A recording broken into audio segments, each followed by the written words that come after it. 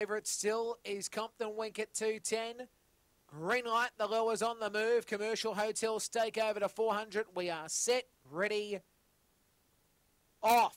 Compton Wink began only moderately, and Cadillac Landau went to the lead from Compton Wink and Santa Barbara, Cadillac Queen, Wangler, and Rough Girl Cody at the rear. It's Cadillac Landau leading, Santa Barbara, Compton Wink, Wangler from Cadillac Queen and Rough Girl Cody. Cadillac Landau still leads. Santa Barbara goes wide, then goes to the inside. Cadillac Landau alongside Santa Barbara. Cadillac Landau wins the prize from Santa Barbara second. Third odd, she whiz. I'll tell you what. Compton Wink may have just got third from Wangler, but it was awfully close. Then came Cadillac Queen and Rough Girl Cody. Time will be 23 and 4. It will be a photo for the minor. Cadillac Landau, though, doing the job and doing the job nicely. Santa Barbara went in in the latter stages to try to get there, couldn't. 1096 the section. 1096 the section. 23 for the trip.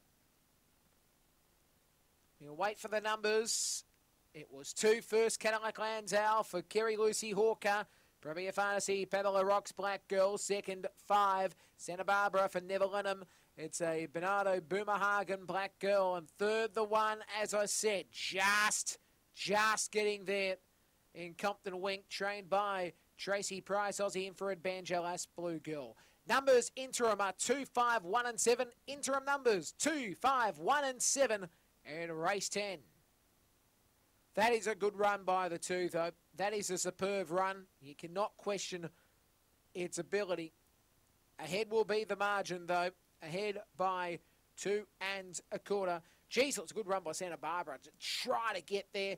Compton Wink just didn't get out well today. Uh, that's the story in Wangler. Geez, it chased on strong. It probably could have got to third if it had a, another half a stride or